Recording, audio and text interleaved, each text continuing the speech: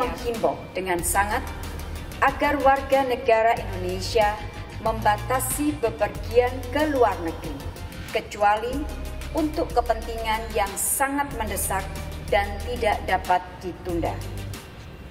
Untuk warga negara Indonesia yang saat ini sedang bepergian ke luar negeri, diharapkan untuk segera kembali ke Indonesia sebelum mengalami kesulitan penerbangan lebih jauh. Kebijakan bebas visa kunjungan atau BVK.